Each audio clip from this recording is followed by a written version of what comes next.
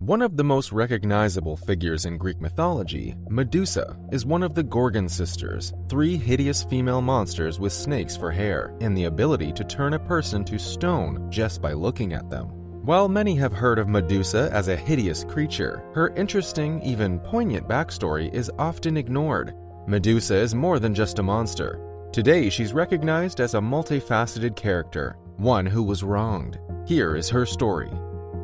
Unlike her Gorgon sisters, Medusa was beautiful and the only Gorgon sister who was mortal, although we don't know how she could be the only mortal daughter born to immortal beings. Her parents were either Gaia and Phorcys or Ceto and Phorcys. Beyond the Gorgon sisters' birth, there is little mention of them as a group, and little is known about them.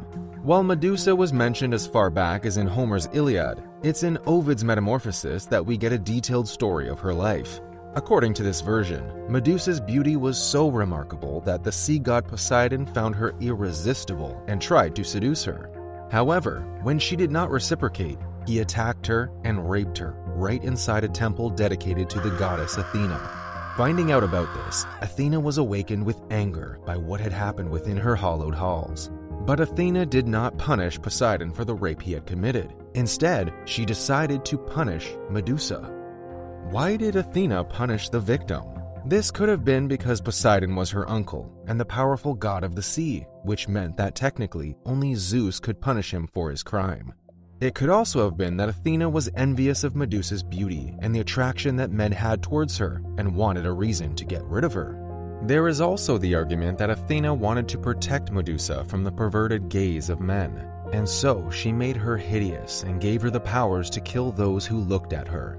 Whatever the reason, Athena transformed Medusa into a monster, with snakes growing out of her head and a deadly stare that would immediately turn anyone to stone if they looked into her eyes. Some versions say that as a result of the rape, Medusa gave birth to Pegasus, the winged horse, as well as Chrysaor, the hero of the golden sword. However, in other versions, her two children sprang from her head after she was slain by Perseus. This brings us to Perseus, a demigod, the son of Zeus and Danae, Perseus is one of the greatest heroes of Greek mythology.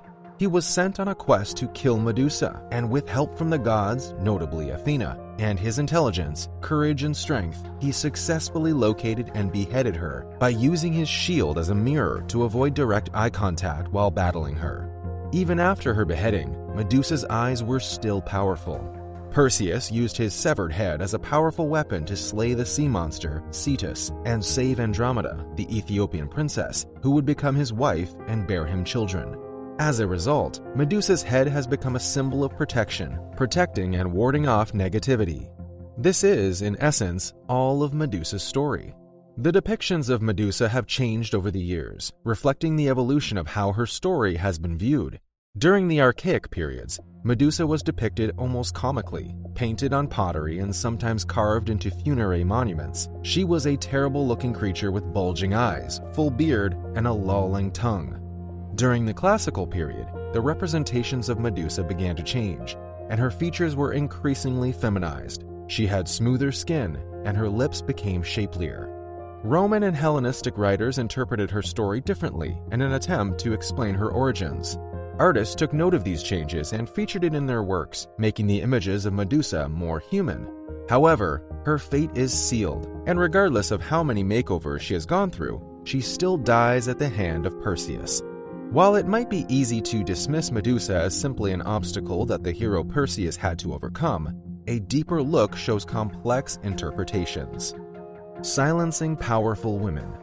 The beheading of Medusa can be seen as symbolic of silencing powerful women, as this article from The Atlantic puts it, in Western culture, strong women have historically been imagined as threats requiring male conquest and control. Medusa is the perfect symbol of this. Rape culture. Medusa has been stigmatized and unjustifiably been blamed for the consequences of male lust. She was unfairly blamed for provoking a god with her beauty. Instead of punishing her abuser, Athena, supposedly the goddess of wisdom, punished her instead. It can be said that Medusa is an ancient representation of sexual stigma that still happens today. It's still a matter of contention that rape victims are often blamed for the rape, and in some cultures are vilified, ostracized, and labeled damaged goods by society. Femme fatale. At the same time, Medusa is the archetypal femme fatale, symbolizing death, violence, and erotic desire. Such is her beauty that even powerful men couldn't resist her charms. She can be equally enchanting and dangerous, and she can be fatal. She remains one of the most identifiable femme fatales even today. Today, the symbol of Medusa as a powerful threat continues to resonate in the modern world. Modern powerful women have proudly worn a head full of snakes to depict power, sexuality, and the acknowledgement of their emerging role in society and politics. Others have been portrayed with a head full of snakes, symbolizing women's growing power and the threat they pose to the authority men have traditionally held in certain roles. Some famous female names associated with the image of Medusa include Rihanna, Oprah Winfrey, Martha Stewart, and Condoleezza Rice. Medusa is also portrayed on the Versace logo, surrounded by the Greek meander pattern. She can also be found on the flag of Sicily and on the coat of arms of Daugavpils, Czech Republic. Beautiful, dangerous, powerful, and yet a tragic figure. These are just some of the words used to describe Medusa. Such is her appeal that she terrifies and awes at the same time. Yet, while many see Medusa as a monster, her backstory shows her as a victim of lust and injustice. Her undeniable appeal will live on as her story is told from one generation to another. What do you think about Medusa? Let us know in the comments below.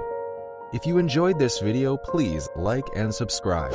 It helps our channel grow so we can continue making content like this. Thanks for watching.